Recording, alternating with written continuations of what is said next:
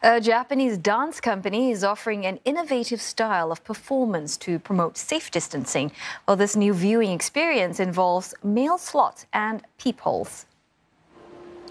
The theater uses a circular shaped stage with separated cubicles surrounding the performance area. The audience will watch the performance from behind closed doors, and the peepholes are said to engage the audience's curiosity and imagination, forcing them to focus on what's happening on stage.